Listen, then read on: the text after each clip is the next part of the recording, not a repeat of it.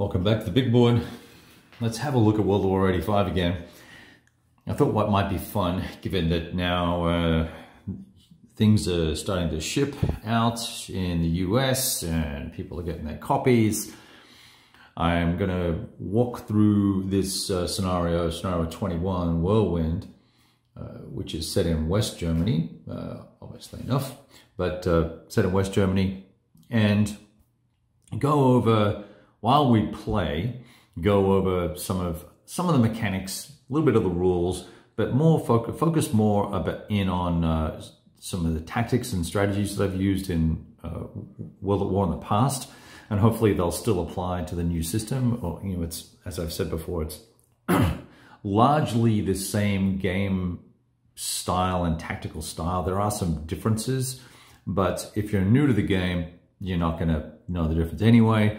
And if you're a, a veteran of World at War, you'll pick up the differences really quickly. So first things first, with this scenario, there are three, I'll call them task forces, uh, for one of a better term, to uh, defend the situation.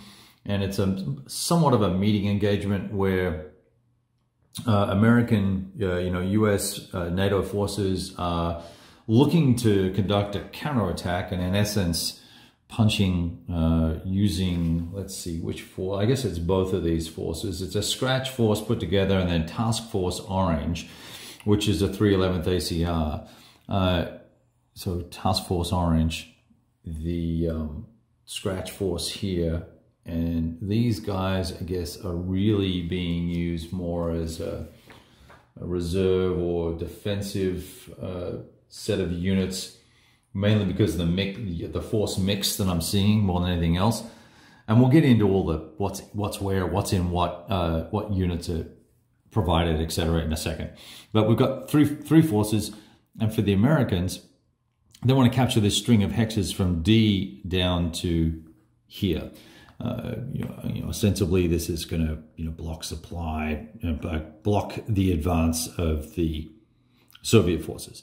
So the Warsaw Pact have already, however, they're conducting their race to uh, the rivers and the bridges, and they have crossed here, and they're in the water, actually, making an amphibious move across the river, and they want to capture this zone, this hex, this hex, and this hex, while at the same time, units from this scratch force as well of T-80s over here, a couple of uh, BTR-60s and some infantry uh, with an 82 millimeter mortar. So uh, 10 platoons of uh, T-80s are racing to this hex here, just to the very extreme left of the screen. And their, their goal is to get eight intact, undisrupted units off the map out of the 14 that are available. They've got to be either APC or a tank uh, that has to, has to exit, right? So if that happens, now uh, it's not, uh, is it really clear? Let me see if it's clear regarding, yeah, you know, it doesn't say from what formation, so arguably BMPs from here could certainly assist in the in the exit procedure, right? So these dice on top of here represent the range with which these units are allowed to set up and you know anywhere within three hexes. So we're going to go ahead and we'll we'll do that in a little bit. I'll do that off camera off camera because I'll, I'll, change my mind 50 times. Uh, you know, looking at fields of fire and stuff like that. There's some Cobras. There's some arty support for both sides. There's air support for both sides. It's a 20 turn scenario.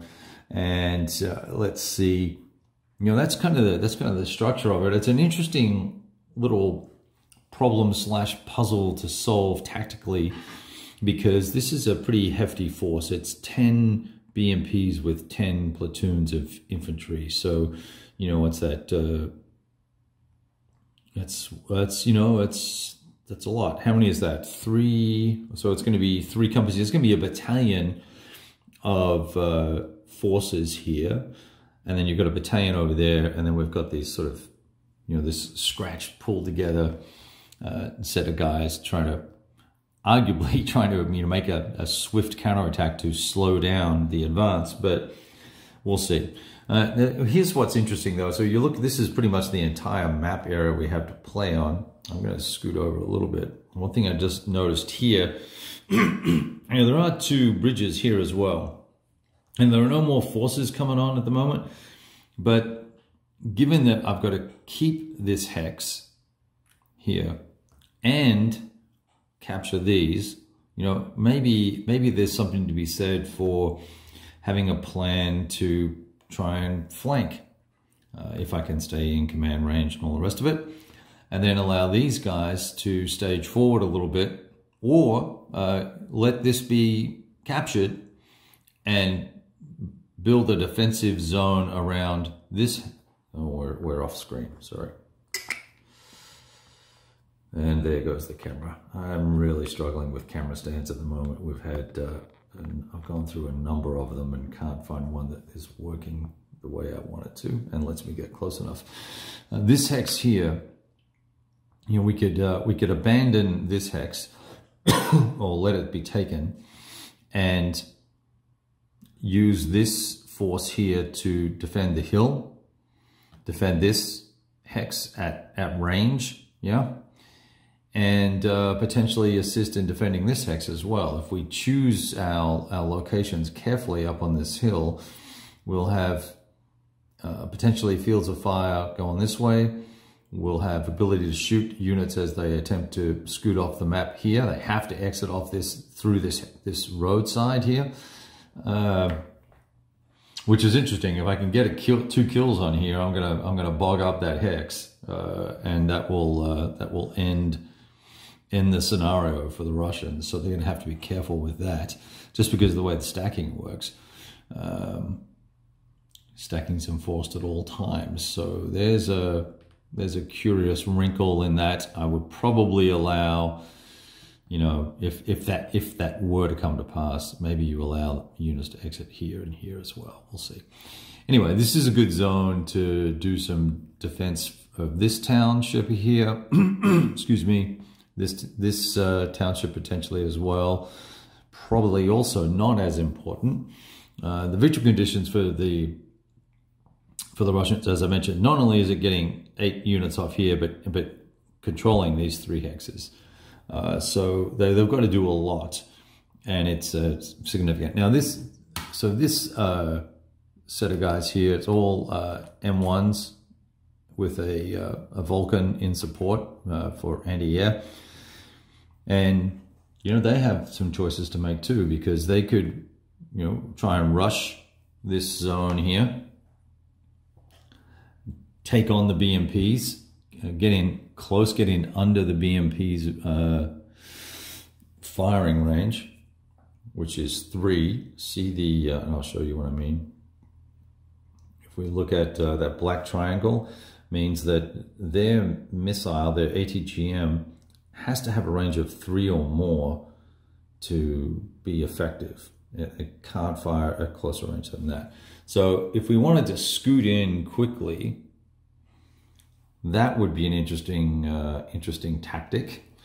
But we'd be scooting in quickly into the city terrain, which is really beneficial to infantry fighting against tanks. Puts us at a risk there. So there's some consideration there. So maybe we stand off here and uh, see where the Soviets go. Are the Soviets going to push hard this way or are they going to come this way first and then around to here and protect this exit mechanism going on that's got to go on?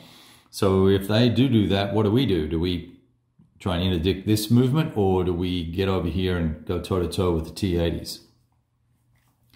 I don't think this force has any Bradleys in it. I'll just check here. Ah, it does. It has uh, two Bradley yeah, two Bradleys, the Vulcan, and then one, two, three, four, five platoons of M1s. Not M1A1s, M1s. They'll be there. So we've got to work out how we're going to handle these guys, those guys. Now these guys here, they have a pretty interesting mix of forces as well. So we've got Dragons, we've got uh, a SAM for AA, We've got a long range mortar unit basically. We've got a cat that just jumped up on the table. That's pretty awesome. What are you doing down here, kitty? You're sitting on a map. Fortunately, I keep them covered. All right, back to this. Where were we? Looking at units, right? Uh, here. I'm sorry, you guys probably can't see any of that. Let's zoom in a little bit for you. All right. And then there's a swag of infantry, three, I think, three platoons here. Then two Bradleys, three Bradleys, four Bradley platoons, four platoons of infantry, five platoons of infantry, and a tow, a tow jeep. So that's not a bad little whack of guys, all great shooting at range. So I imagine the first turn, we're going to look for positions that we can shoot at range, try and stay out of trouble with the T-80s, and, uh, you know, maybe race over here somewhere. Uh, who knows? We gotta we gotta work that out. We gotta work out how we're gonna handle handle the defense there. Uh, and how we handle the cobras as well will be interesting because they can really they'll they'll cut through BMPs like butter because uh, they have a very soft save, as you can see. All right, we'll uh, what we'll do now. Let's see. So you, I think I've explained to you here that we have just it's all infantry with some RPGs and all BMPs. There's nothing fancy here. I think there's some AA. Uh, yeah. Oh, well, I've got this artillery unit with a range of 55, which is pretty nice. One of the other factors that the Soviets and the West Warsaw Pact have to consider is where will they place their Spetsnaz that can arrive on turn four, five, or six. It's uh, three platoons with uh, two Sagger units, and I think it might have a uh, some sort of AA unit, yeah, an SA-7 uh, uh, weapon, right? So part of the decision-making cycle is with Victory Hex just below the screen, one here, another one here. Do they want to support and reinforce the T-80s coming on, or do they want to try and help the three companies of uh, infantry and BMPs that are crossing the lake? And that's something I haven't really noodled through yet, and I need to uh, need to come up with a, a proper plan for them. And I think something I'm leaning towards uh, landing somewhere around here but who knows what could be happening by turn four over in that part of the world. Uh, maybe it's uh, maybe it's better to employ them as a blocking force here or a supporting force here so these guys have a little more firepower. I, I don't know. Maybe uh, landing in right in the middle here could be good. Let me know what you think about that as well. Cheers. Okay, so I think uh, I think that might be a good place to, to pause it here. Let me go set up some units. Uh, we've got our handy dandy lock and load tray for all the information counters. And then this is our track that we're going to keep track of the turns and the artillery strikes available. And we'll, we'll run our cards here. The formation deck will be handled from there and we'll, uh, we'll get after it. We'll talk to you soon. Uh, all the best.